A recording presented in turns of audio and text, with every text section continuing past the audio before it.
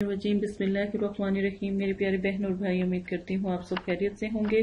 अगर अब तक आपने हमारा चैनल सब्सक्राइब नहीं किया तो जल्दी से हमारे चैनल को सब्सक्राइब कर ले, ताकि आने वाली तमाम वीडियो आसानी आपको मिल सके। आज का जो वजीफा है, बहुत प्यारा है, बहुत लाजवाब है। अगर आप चाहते हैं कि हम आपके लिए वजायफ करें, या हम आपकी मदद करें तो ज़रूर हमारे चैनल पर आके बात कर सकते हैं।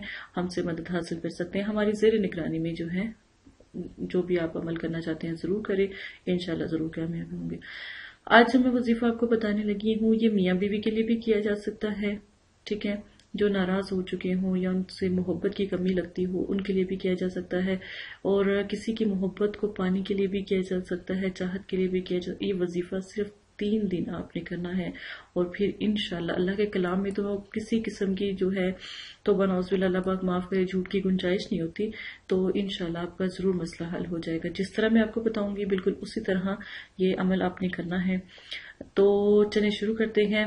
आज सबसे पहले जो लफ्ज मैं आपको बताने लगी हूँ, वो है या कुद्दूसु। या कुद्दूसु। देखें अब इसका तरीका मैं आपको समझाने लगी हूँ। बरोज जुमेरात, हफ़्ता, पीर या फिर बुध हो। जैसे आप मतलब कि आप चाहते हैं कि आपका कोई रिश्ता है, आना चाहता है, या आपका जो जो आप जिससे प्यार करते हैं, मोहब्बत करते हैं, अगर उसका रिश्ता भी नहीं आ रहा, तब भी ये वजीफा अलहमदिल्ला आप कर सकते हैं। बहुत नया वजीफा है। नंबर दो, इस वजीफे को कम अज कम कोशिश करें तो सूरज की रोशनी में भी आप कर सकते हैं।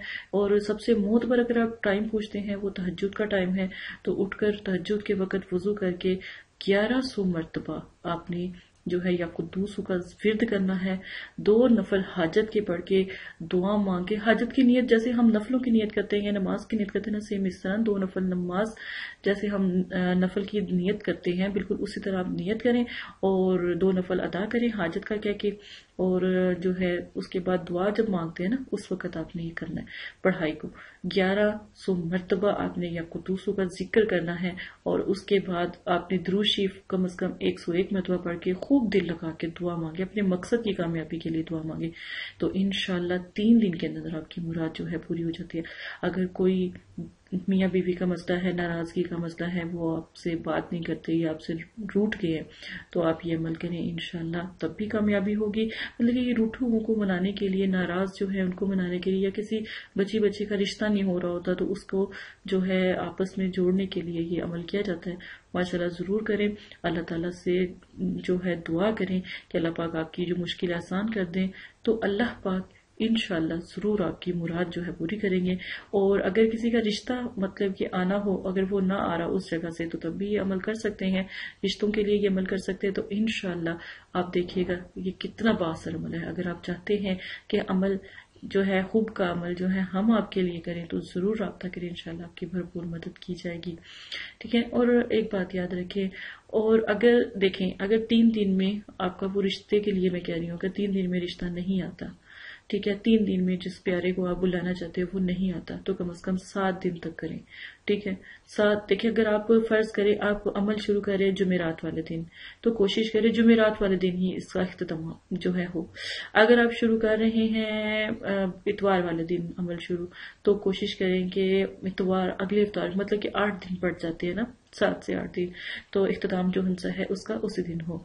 और इनशाला परेशान नहीं हो, अल्लाह पाक जो आपके हक में बेहतर है वो अता करेंगे। अपने रब पे तवक्ल करना ना छोड़ें, क्योंकि अल्लाह पाक की साथ ही तो है।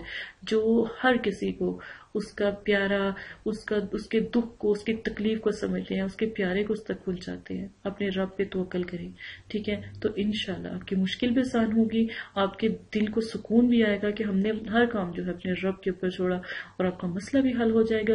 और सबसे बड़ी बात है, अल्लाह पाक का कुर्ब भी हासिल हो जाता है इस तरह, क्योंकि ज़िक्र से भी और तहजद के टाइम तो अल्लाह पाक वैसे ही कहते हैं कि आप देखिए ना, आप पाँच वक्त अल्लाह पाक से दुआ करते हैं, नमाज़ पढ़ते हैं, अल्लाह की राह में जाते हैं। जब आप तहजद में अल्लाह तला को याद करते हैं तो अल्लाह पाक कहते हैं कि पाँच वक्त तो मेरा बंदा मुझे पुकार रहा होता है ना। ठीक है ना, जैसे फजर, जोहर, असर मकरीबिशा तो अल्लाह पाक कहते हैं कि पाँचों टाइम मेरा बंदा मुझे पुकार होता है कि अल्लाह पाक आप कहाँ हैं, दुआएँ मांग रहे होते हैं। लेकिन तहजद के टाइम तो मैं खुद कहता हूँ, है कोई मुझसे मांगने वाला? अल्लाह पाक अश, आखिरी अश पे आके फिर लोगों से जो है मतलब कहते हैं कि कोई है मेरा बंदा, कोई है मेरा नेक बंदा जो मुझसे मांगे। तो इनशाला देखिएगा, इस बहन की बात मान के अमल करें इनशाला ज़रूर कामयाबी होगी। अगर आप हमसे मदद लेना चाहते हैं तो इनशाला ज़रूर मदद की जाएगी आपका ज़रूर साथ दिया जाएगा। इसी के साथ इजाज़त है, अपना ख्याल रखिएगा दुआ में याद रखिएगा। चैनल को लाइक करें, सब्सक्राइब करें, ताकि आने वाली इस तरह की प्यारी प्यारी वीडियोस जो उनसे आप तक पहुँचती रहे। इजाज़त अल्लाह हाफिज।